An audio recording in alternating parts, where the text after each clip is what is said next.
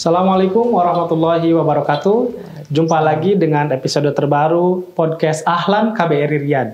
Pada hari ini kita kedatangan tamu dari Jakarta, Ibu Dr. Nini Rahayu, Ketua Dewan Pers Ibu, apa kabar Ibu? Alhamdulillah baik. Assalamualaikum warahmatullahi wabarakatuh. Waalaikumsalam warahmatullahi Ibu, maksud datang ke Riyadh ini dalam rangka apa, Bu? Dewan ya, Pers. Uh, Dewan Pers, saya selaku Ketua Dewan Pers masa jabatan 2022 2025 hmm. menghadiri undangan dari pemerintah Arab Saudi ya. untuk program inisiatif Media Forum hmm. yang diselenggarakan tanggal 21 hingga 23 okay. uh, Februari 2023. Oke. Okay. Baik Bu, uh, apa saja pesan-pesan yang disampaikan oleh Dewan Pers Indonesia pada Saudi Media Forum di Riyadh ini Bu?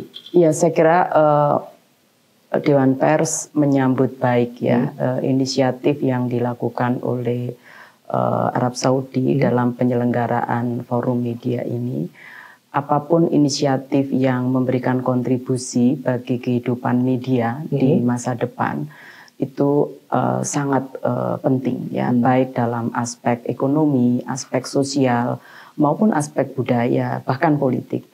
Nah di forum ini uh, kami menyampaikan tentu uh, bagian penting dari uh, situasi global ya hmm. di mana media sekarang tantangannya kalau dulu kan uh, kita uh, apa namanya sangat uh, berinisiatif dan berargumentasi terkait dengan kemerdekaan pers ya, dari tirani ya. karena hmm. karena media itu kan uh, peran pers adalah pilar keempat, keempat demokrasi. demokrasi maka seluruh inisiatif harus diarahkan Betul. pada bagaimana supaya demokrasi bisa berjalan dengan baik. Nah, eh, kami menyampaikan bahwa eh, media di tantangan ke depan ini bukan demokrasi dalam konteks tirani, tapi hmm. berbagai platform global yang ikut mempengaruhi eh, apa karya jurnalistik yang berkualitas. Okay. Itu saya kira tantangan kita ke depan dan itu termasuk uh, saya kira dirasakan juga oleh kawan-kawan media di Arab Saudi. Arab Saudi. Jadi sekarang media bukan lagi vis-a-vis terhadap uh, rezim otoriter, tapi iya, juga terhadap iya. uh, media digital ya, Bu? Platform digital. Platform digital. Iya, karena kan kita uh, Bapak Presiden pada Hari Pers Nasional kemarin menyampaikan soal pers yang bebas tapi bertanggung jawab. Bebas dan, dan bertanggung jawab. Uh, kemarin Pak Menteri uh, Media hmm. Arab Saudi juga menyampaikan hal yang sama. Hmm. Pentingnya media yang bertanggung jawab. Artinya dalam pemberitaan kita uh, media harus ikut memperhatikan soal data yang akurat. Hmm, akurat. Valid, akurat, ya? valid. Artinya berimbang begitu ya. Tentu data akurat ini uh, kita juga harus berhati-hati karena sering kali kemudian diasumsikan hoax gitu ya. Hmm. Semua hoax gitu. Yeah. Padahal hoax itu belum tentu dia tidak akurat. Okay. Jangan sampai kalau kita tidak mendukung lalu kita sebut hoax. Hmm. itu kan mengkhawatirkan ya, ya, sekali. Betul, betul. Jadi dua hal yang berbeda antara akurat dengan hoax ya. hmm. ya. Maka uh, UNESCO itu sudah membuat panduan apakah itu malinformasi, hmm. disinformasi atau misinformasi. Boleh diceritakan nah, singkat Bu? Jadi uh, kalau misinformasi artinya tidak sesuai dengan uh, fakta yeah. Ya. uh, lapangan gitu ya uh, disinformasi memang tidak melakukan konfirmasi, maladministrasi apalagi. Yeah. Nah, maka kita sebagai berita media yang diberitakan harus kemudian memperhatikan soal akurasi. Hmm. Informasinya betul sesuai dengan faktanya walaupun algoritmanya memerlukan kecepatan ya. Sekarang yeah. ini media siber itu kan memerlukan betul, kecepatan betul. dalam pemberitaan. Nggak bisa lagi besok gitu, nggak bisa lagi jam, tetapi ya, bahkan detik, detik gitu ya. betul. ya. Tetapi akurasi tetap perlu dilakukan, termasuk uh, memperoleh konfirmasi dari sumber hmm. sehingga tidak lagi muncul pemberitaan yang clickbait ya, hmm. pemberitaan yang tidak mendasarkan pada asumsi sementara digulung oleh algoritma kemudian masyarakat memandang itu sebagai pemberitaan yang Oke. akurat. gitu. Jadi tadi apa Bu? Apa saja disinformasi? Disinformasi, misinformasi, dan malinformasi. Malinformasi. Jadi Iya. malinformasi ini yang paling, paling parah ya, ya. yang tidak boleh dilakukan. Hmm. Maka eh, inilah tantangan media kita ke depan gitu dari sisi eh, sosial budaya dan politik gitu. Karena bisa saja yang benar menjadi tidak benar Hmm. informasinya sementara masyarakat mempercayai.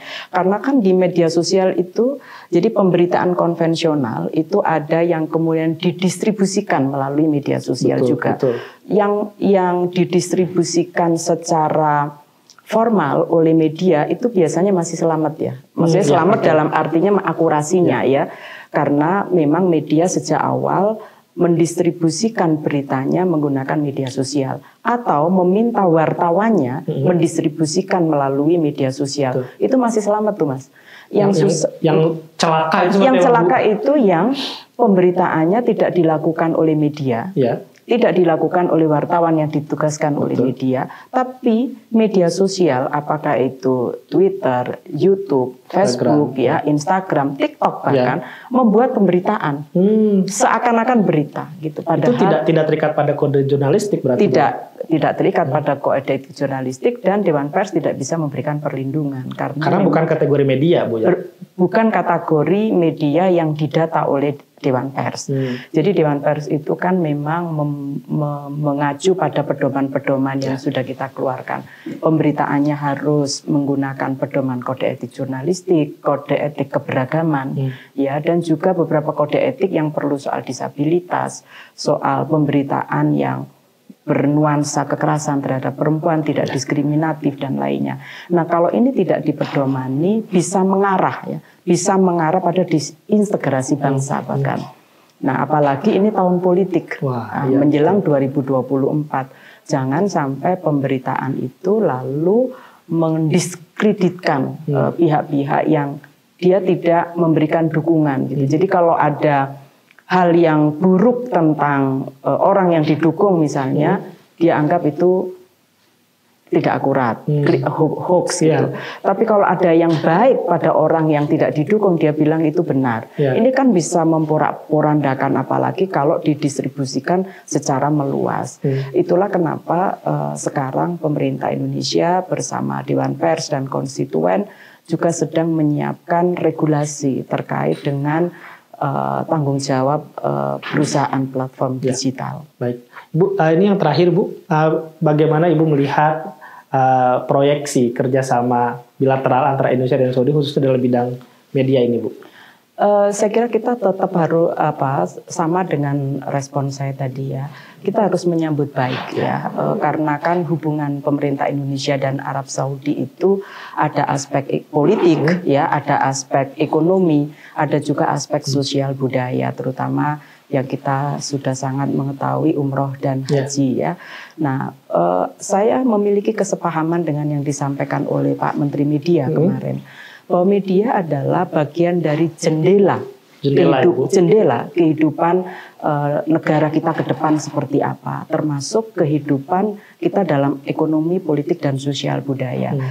Bahkan eh, media bisa digunakan untuk melihat keinginan sebuah negara itu ke mana arahnya. Jadi media bisa membaca masa depan. Iya, saya saya eh, saya saya catat betul eh, kalimat yang yang beliau sampaikan ya menjadi sarana perubahan dunia. Media Media, menjadi, menjadi sarana, sarana perubahan dunia, menjadi jendela masa depan negara. Hmm. Lalu em, media bisa menjadi sebuah kekuatan yang mengatur ke- keinginan negara ini mau ke mana.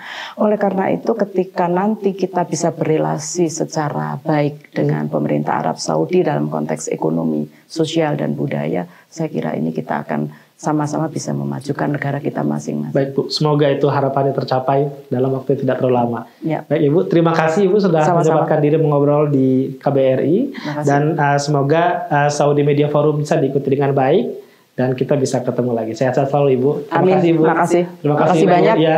Assalamualaikum warahmatullahi wabarakatuh. Waalaikumsalam warahmatullahi Baik, terima kasih uh, para penonton Ahlan KBRI Riyadh. Kita jumpa lagi di episode berikutnya. Sukses. Ahlan, sukses selalu.